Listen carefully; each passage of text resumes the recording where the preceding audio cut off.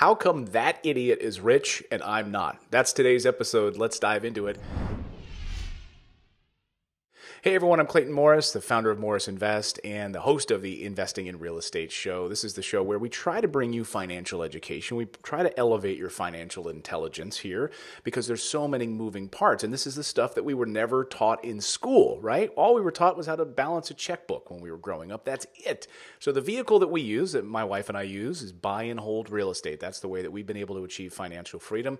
We know that we really want to help you achieve financial freedom. And I've got a great guest, one of my mentors met him years ago when I was still working in broadcast television, started really diving into his books and realizing that there was another way to build wealth. My guest is Robert Shemin. He is the author of How Come That Idiot Is Rich and I'm Not, New York Times bestseller. He's written a number of other books on real estate investing. He buys basically the same exact properties that I do in those B and C neighborhoods as part of his portfolio. And what I love about Robert is that he's an active investor. He does it every day. And in fact, he said, Hey, Clayton, let's talk next week. Let's talk about some deals. Let's talk about some different things. So we're going to jump back on the phone next week and just talk strictly about deals. Robert, welcome back to the show.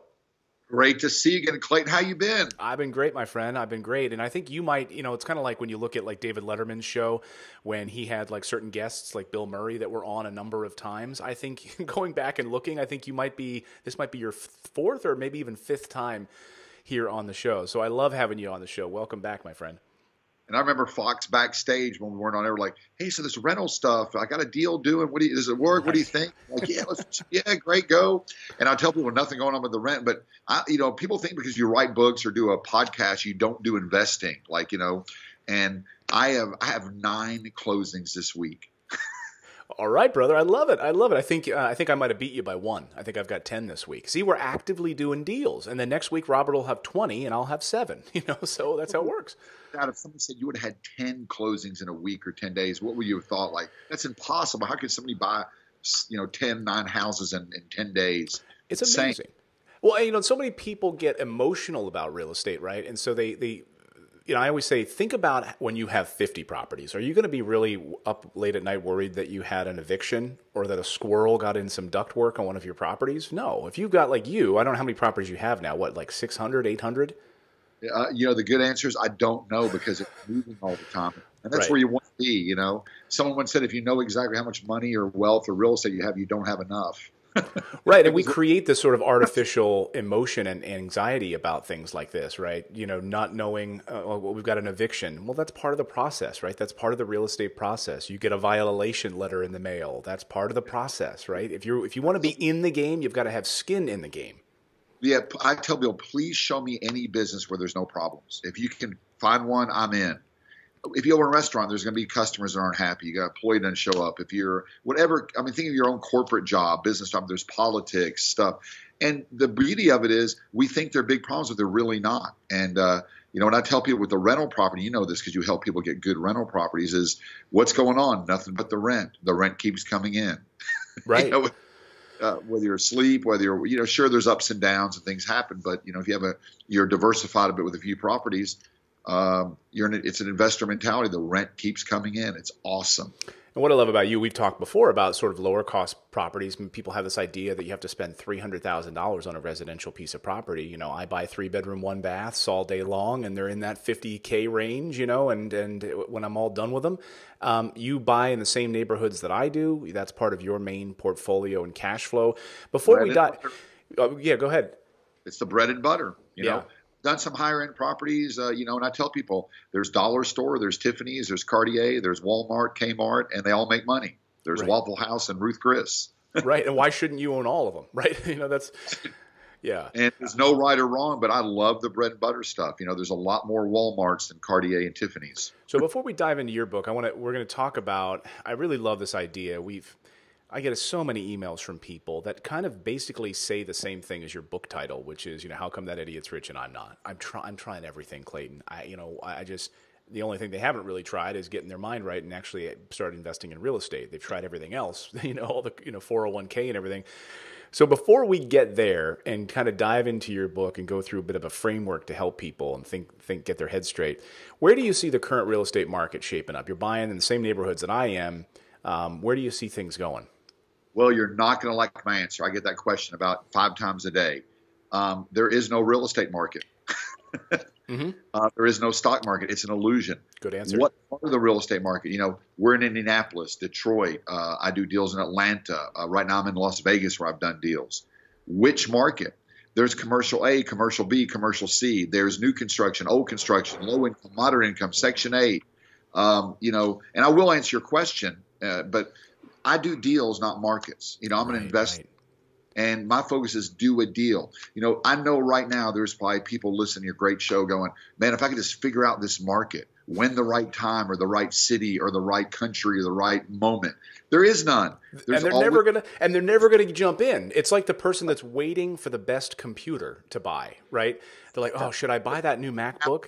There's a new one every you know eight months now. Like, get right. a phone. Just buy it because guess what? There's going to be a new iPhone next year.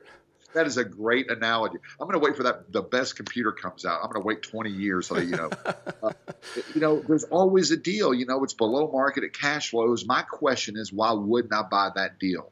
I mean, there's uh, about six million residential real estate transactions this year in America. All you have to do is two, or one, or five, right? Or you, you do 50, right? And so I don't do markets. I do this. Now that being said, you got to know your what I call micro market, correct? Right. You got to know what the rents are, what the values are, what's going in that neighborhood, or jobs coming or going. So you know, we don't just buy a deal. We, you have to do your research. But uh, now in the general macro real estate market. Listen, if I knew exactly what was going to happen, uh, I'd be running a fifty trillion dollar hedge fund. Right. Correct. Right, because all real estate is truly local. So what happened in Miami, what happened frankly in Las Vegas, what happened in San Francisco had nothing to do with what happened in Indianapolis during the downturn, you know? Well, it, totally different. I'm on the beach in Miami. My property on the beach never went down. Now Midtown Miami went down 30% in, uh, the, during the crash. I do deals in Nashville and Memphis. I'm from Nashville, Memphis really never went down. They weren't affected by the global U.S. Uh, meltdown uh, in 2007 or eight or whatever it was. So again, uh, there's so much misinformation about that. And that being said, you know, I spend a lot of time and money like you do because I love this stuff because it's distracting. You know, it keeps us busy from not doing a deal. Let's read economic reports on the future of real estate. But I love it. And I'll tell you this: the millenniums this is the largest generation to come through, even bigger than the uh, generation after World War II. They're starting to buy houses, right? They're renting. There's a lot of them, supply and demand. And here's the biggest thing, Clayton, that people don't realize. The number one reason real estate has gone up in the last 20, 30 years in America, not according to me, according to Harvard MBAs, PhDs, is government regulation. Think about it. Right. 50 years ago, your, your parents rolled into Ohio uh, they bought some land. They could build whatever they want to build, pretty much. There were no rules. Now, to build a new house or duplex in anywhere, the restrictions, the the green laws, it's expensive, mm-hmm. and that's restricting a lot of supply. I believe, as always, there's going to be bumps over time. Real estate always goes up, rents go up, right? Some costs go up, and the question is, is uh, how much do you want to get? Um, I wish I would have bought everything 20 years ago, everything, right? Yeah, I mean, and you, you and I are in some of the same neighborhoods. You know, I love Detroit; it was my first markets. And you know, what's amazing about Detroit is, um, and I was just there visiting my team and walking through like fifty or sixty of our rehabs in progress. And what I love about it is, you know, yes, the values might have dropped a little bit, 10, 15,000 during the downturn, but guess what didn't drop was the rents. They stayed the same you know and guess what now those values are back up again and so but again who cares right because that value going up and down it doesn't really matter but the rents stayed consistent. I don't know what's happened next year in every little market but i know over the next five ten years it's going up. I'm not selling next year. Right. I'm a or a rental. Uh, the rent's coming in. The tenants are paying my debt off. I'm getting tax benefits for owning. And you know what's funny? This is so important about how come that is rich or not. There's two types of decision you make emotional right or economic rational. I'm an investor, you're an investor. I'm a numbers person. No emotion. When people we say Detroit, I just I could hear it. The people listening to the podcast, watching, going Detroit, oh my God, gangs, fire, bankruptcy, disaster. And as an investor, I'm, I'm thinking Detroit, number one or two best real estate market in the United States last year. Right. Right. Great cash flow. Right. Correct. Uh, their governments got together. There's now a little tech boom going on and jobs boom going on. But people watch the media, no disrespect to the media, and think, oh, Detroit's horrible. No, well, it's a big city. And there I, are some parts that aren't great, but there's right. like any parts that are amazing. No, that's such a great. And I love, frankly, it allows me to get more deals with the ignorance that's out there, and you know about Detroit, right? There, you know, and so I I uh, I, I love it. I actually love the ignorance about it. Yeah, the, the, herd. I mean, and most people's information comes from the media, which is just all, um, you know, it's, it's just not accurate. There's not facts. And I've done some deals in Detroit. Best investing market of the last couple years. The the it's coming back. The uh, you know, again, you got to know what you're doing. Uh, correct. Right. Yeah. Quicken Quicken Loans just moved there. Um, we got a billion dollars from Chrysler Fiat there. You know, I asked this question on the podcast: How many people think know what the number one industry in Detroit is? And most people say the auto industry. No, it's healthcare and the auto industry is secondary. And then you have all you have Google, Facebook, all of these other companies moving there because of the the the, the benefits, and because uh, because Detroit has now made it a tax incentive for people to move into the city, their paychecks are going up. So people are actually leaving the exurbs, the suburbs, way out, and they're moving into that area. And guess what? They're renting from me. I love it. But I, I gotta, gotta really warn people, you know, get rid of that emotion and get the facts uh, as an investor. Um, if you have, if you're all emotional about it or psychological, you're not going to make any money. And also, I would say, and I'd add to that too, which is get off the internet, stop hanging out with naysayers. You know, get the facts, but don't let it crush you. Don't let it cause analysis paralysis where you never actually take action to do a deal. And by the way, intelligence. You need somebody on the ground. I love the internet. Um, I don't use it uh, most super successful investors I know don't use it. Right. exactly. I mean, when look at something or a picture or whatever, 80% of the information on there is incorrect. Right. That's a great point. That's an absolute great point. I want to dive into your book now. And, you know, this framework that we're talking about here, this idea of how come that idiot's rich and I'm not, the idea is, you know, you ask the question, have you ever really wondered why some people attract wealth and others don't? They stay financially sort of tapped out in debt or they have their whole frame of references around a debt lifestyle. So, let's kind of go through this. How do we set a success goal? That's one of the key parts of the book is having that one focus, and most people don't do that. Right. You know, I tell people that in the book, there's two goals you need. One, what's my big goal? And my, my mentor walked me through this just like you probably do with some of your people. I said, um, I need $5,000 a month coming in from rental property, and I don't care how long it takes me to get it but that will get me at that time financially free. Remember, I was kind of a broke, miserable in Nashville, not L.A. or New York. You know, where five thousand dollars a month gets you a parking spot. Right. you know, right. it's all relative. And um, so I work backwards. What's your big goal? What's financial freedom? Where do you want to be? How much money do you want to come in? And I break it down into deals. If I'm making six hundred dollars a month from a rental property, I need uh, ten of those. That's it. Um, and, and really work backwards, know your numbers. And then the second most important goal, which is what most people forget about, is goals are great, but most of them we never reach. What am I going to do today or this week to reach my goal? I need to make five offers next week, or look at three houses, or close on one property in the next 60 days, or find some money, or what action am I going to take? That to me is the most important goal. Right. And when I say idiot, I don't mean someone who's just dumb. What I mean is most people, including me, complicate things. Mm-hmm. I thought about real estate for about two years before I ever made an offer, analyzed everything, a fear. And when I say rich idiot, most of them are pretty simple. Well, I need this much money. I need to buy this. How do I do it? What do I do today? Let me go do something. They're doers. They're not thinkers. And I think those are the two goals you need. What's the big goal? Where do I want to be 5, 10, 15, 20 years?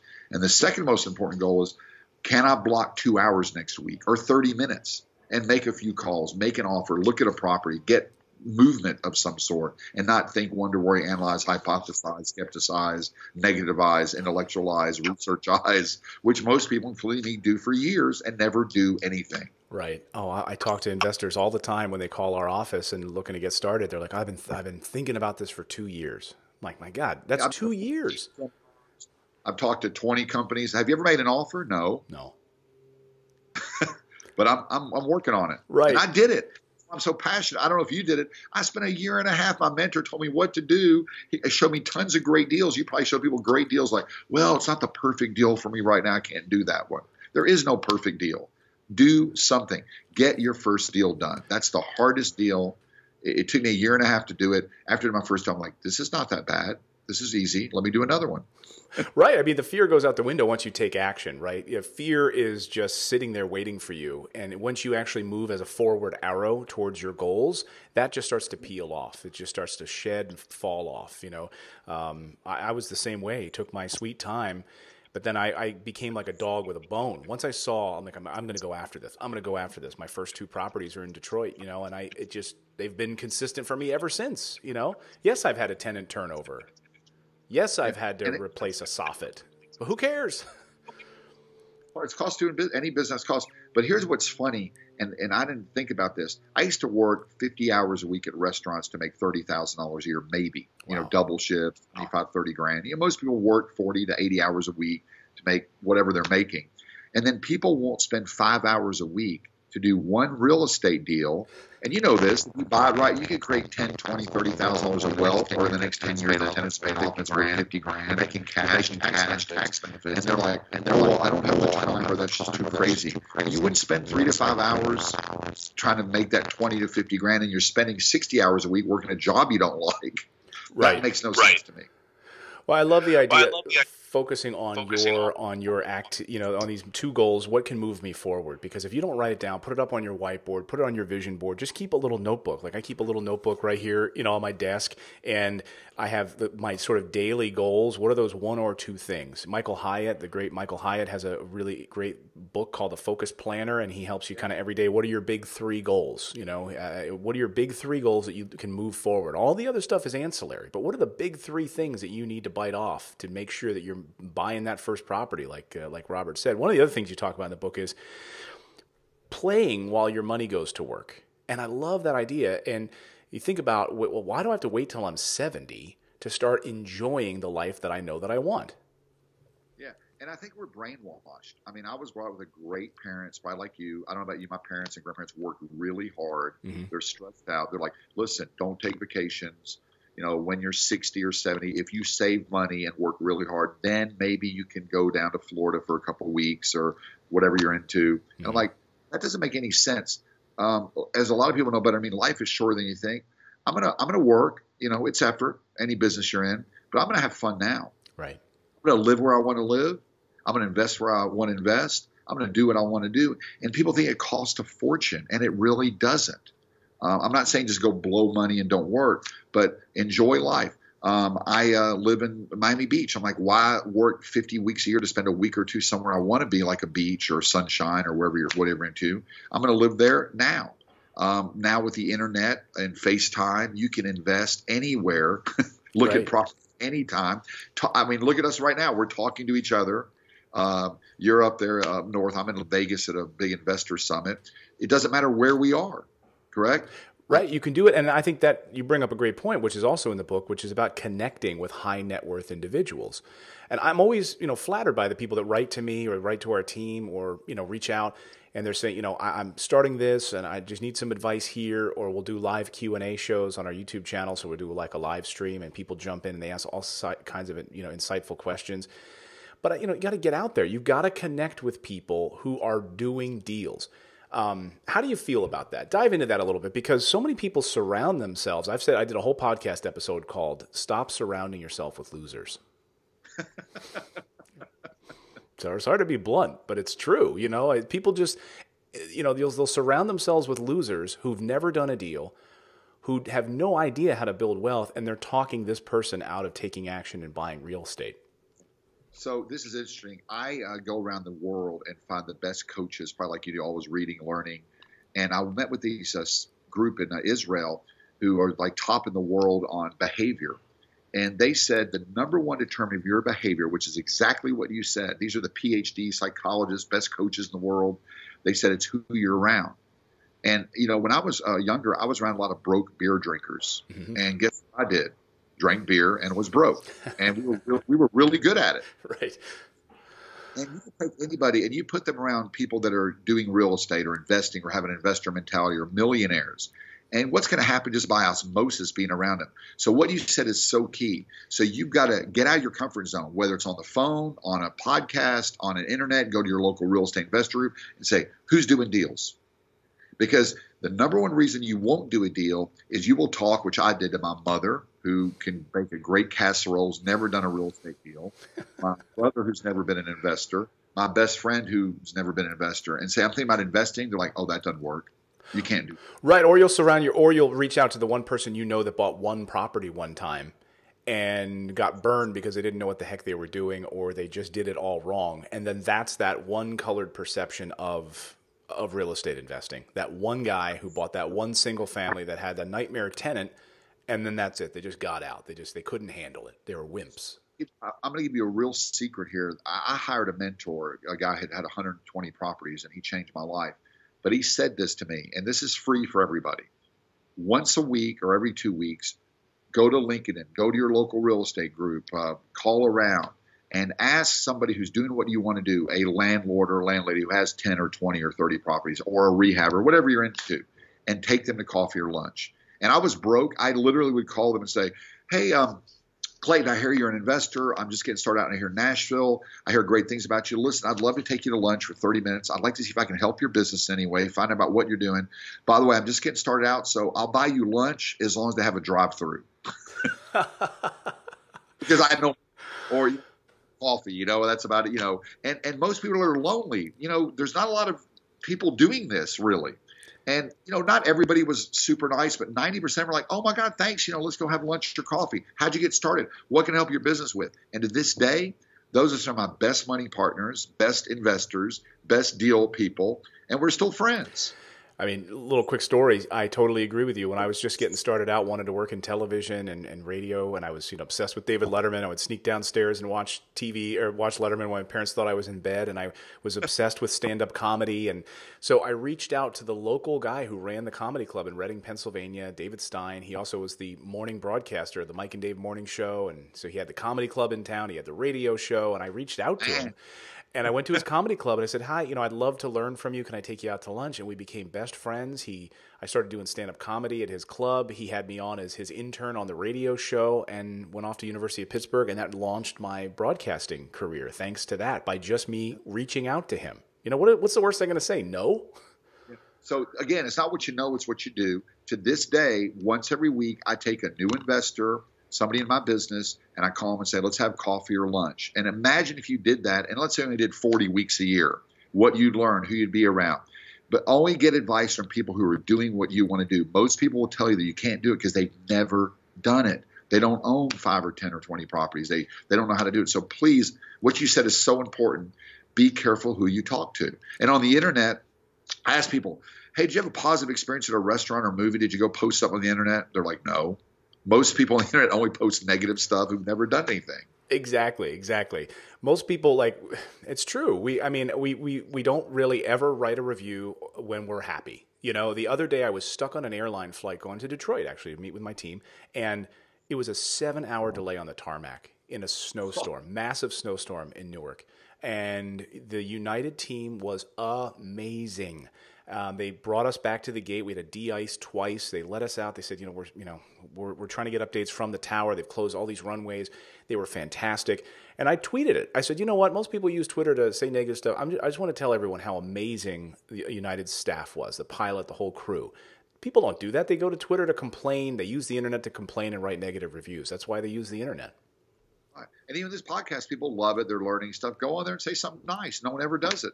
Right. Yeah. Please go to iTunes. Leave me a, leave uh, Robert and I a five star review for this episode. It's it's easy yeah. to do and, and helps other people discover and gain financial intelligence. Um, so, yeah, I, I, I, really appreciate that. Um, you got to be so careful who you're around. Mm-hmm. Um, that's the number one determinant of your success. And and these folks are about drug addicts. Like they get people off drugs they put around people who aren't on drugs, and within a few weeks or months, they just get off drugs because no one else is doing it. Same with money, same with wealth, same with exercise, same with health. And you know, you got to get out of your comfort zone. And, and we're not telling you lose all your friends. And you know, it's funny. Most of my negative people in my life have the same last name as me. I don't know how that worked. That's true. It's it's hard. You know, you got a negative family. You got it's hard. But I limit who I'm around and what I'm going to listen to. And I don't talk to my family about money because like that doesn't work. You know, we're broken, miserable, and you need to be broken, miserable too. You know, get a job. My family still thinks I should quit real estate and go get an office job so I'll have health insurance. Right, right, right, right, right. Exactly. No, I had a negative employee one time. You know, every time he wanted to talk, it was just negativity. And I said, look, you know, you don't need to worry about the things that I should be worrying about as the owner, right? Be a forward arrow. I hired you to be a forward arrow. Don't and leave. If you're going to call me, I don't want to hear the anxiety. I don't want to hear the stress. Let's be forward thinking. Um, one of the things you talk about, we'll wrap it up with this, is in the book you talk about having a millionaire mentality while you're becoming one, and I think that's so important because I don't think people have a fear of failure. I think well, some people do. Most people, I think, have a fear of success and they sabotage themselves while they're becoming successful. It's uncomfortable. Mm-hmm. Nobody talks about that. Thank you for bringing that up. Listen, I come from a very, you know, not so wealthy family background. And when I started making money, it was very uncomfortable. They made me uncomfortable. I was uncomfortable, correct? Right. And nobody ever teaches that. Now, I'm not telling you flaunt your wealth and throw it in people's faces, but you got to be around successful people and um, get that mentality now. You will become what you uh, uh, want to be, right? When I was worried, stressed out about money all the time, focused on how broke I was, that's what I got, mm-hmm. correct? Yeah. And this, you know, people talk about it, but they don't do it. The, the mind shift, right? You, you know, you got to, uh, as a, a, sports person, you have to visualize yourself being successful, winning, uh, becoming uh, the winner of the race or whatever. And I talk to athletes, they visualize themselves, you know, winning the race, having the best start, the best catch, or whatever. Musicians, you have to visualize yourself playing the concert, uh, being a successful, or whatever it may be. Same with wealth and money. And you got to start treating yourself better. And I think the most important thing, and uh, this is very simple but very key, is watch your language. Listen to how the people you talk. I'm broke. The economy's bad. There are no deals in uh, in America. There's no deals in California, right? And whatever you say, you're right. And hmm. the money will be coming to me. I will be. I am closing deals. I am finding deals. I uh, am successful. I will be making a lot of money. I will be enjoying life. I feel good. This. I'm excited, not scared. I'm excited about making an offer, not scared about making an offer. There's no risk in making an offer generally. Right. Correct? Yeah. Absolutely. I love that. Become that, that mentality. And I started treating myself a little better. It doesn't cost much money. I go to better hotels and better restaurants for a few extra dollars. And all of a sudden I'm meeting wealthier people, people that are doing things. And it just, it snowballs. But if you're around, I'm broke, I'm miserable, everyone around me is broke and miserable, well, that's what you're probably going to get. So you've got to change your language, change your mentality, treat yourself better. And, you know, you deserve it. Why not? And here's the other thing nobody really cares about what you're doing. you think they do, they right. don't. When I was broken and miserable, nobody really cared. People really don't care what kind of car you drive or where you go. So do what you want to do, enjoy yourself. Really, people, they're all on their own planet. They really don't care so much. And, um, you know, if you want to help people around you be successful, do it. Don't talk about it, and that will bring everybody up. Oh, absolutely. And everyone will say, "Hey, man, what is what has Robert been doing lately? He's he's happy. He's he doesn't have a day job. He's just financially free. I want some of that." And that's exactly yeah, that's what we try to teach people here. It's so funny. Most of my family who are very negative now, they're like, "You know what, Robert? We were so glad you did real estate. We supported you at the beginning. Remember that? And uh, by the way, I borrow eighty grand from you next uh, month or whatever?" right. Exactly. Yeah, they come out of the woodwork. Yeah, supporters now, but you know, be the person you want to be. Be around the, the, the, the, what you said was key. Be around those people, you know, uh, and and just start snowballing. Um, and conversely, when you're depressed or and I've been there, or, or bad things happen, or you're broke, it snowballs too. Yeah, absolutely, it does. Excellent wisdom, and I'd love to have Robert. We'll have you back on soon to talk some more great real estate topics. This book, though, for Robert is called "How Come That Idiot's Rich and I'm Not." You've got to go download it. We'll have links to it on our website at morrisinvest.com on the podcast page. We've got tons of great resources over there, so come on over. We'll grab. Uh, we'll have a link to Robert's book that you can buy and check it out. And uh, it is a New York Times bestseller. Robert, great to see you, my friend. And let's yeah, let's chat next week. Let's talk some deals. And the goal is pretty soon it's already happened to you and it will happen to some of your uh, followers. Uh, they'll look at them and say, How come that idiot's rich and I'm not? That's the goal. exactly. I love it. I love it. Robert, always great to see you, my friend. Enjoy the conference down there, and uh, we'll catch up real soon. Great. Have a great day, great evening. See you soon. Happy investing. Happy investing and taking action. Thanks, Robert. And thanks to all of you for subscribing and downloading the podcast. We really appreciate it. Please, like Robert said, just come on over to the iTunes store if you're listening to it on audio or if you're, you know, uh, on on YouTube. Just go over to the iTunes store and leave a nice, kind review if you would be so kind, and share this with a loved one that you think is uh, being a little negative and uh, has an old way of thinking about money because I think you could really change people's lives just listening to Robert's wisdom and others. We'll see you back here next time with another episode. Now go out there, take action, become a real estate investor, and stop hanging out on the internet.